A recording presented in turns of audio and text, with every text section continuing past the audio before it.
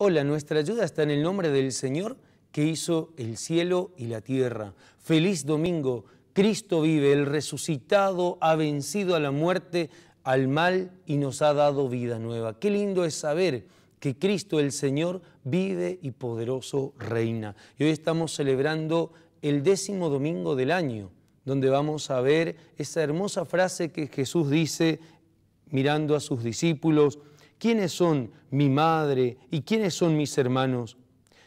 Y haciendo una mirada a su alrededor, a los que estaban sentados, dijo, estos son mi madre y mis hermanos, porque el que hace la voluntad de Dios, ese es mi hermano, mi hermana y mi madre.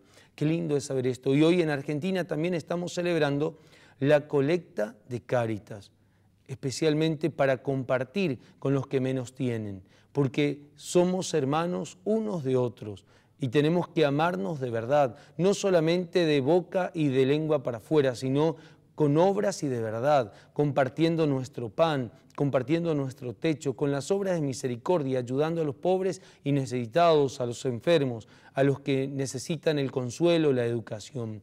Vamos a pedir especialmente al Señor que nos ha dado un corazón solidario, que podamos hacerlo solidario con nuestros hermanos, porque Dios es solidario, quiere hijos que también sean solidarios.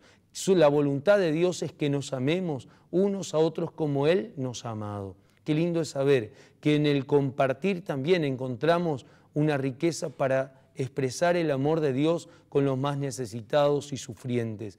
Y de esa manera también nuestro corazón se empieza a ensanchar, se empieza a agrandar y empieza a latir con más fuerza y con más amor y alegría. Ojalá que también tengamos las manos cansadas de dar y que nunca se afloje nuestra rodilla, que tengamos las rodillas doloridas de rezar y también especialmente el alma hinchada de tanta generosidad y de tanto amor. Ánimo, cuídate que Dios te cuida. Un fuerte abrazo y bendiciones.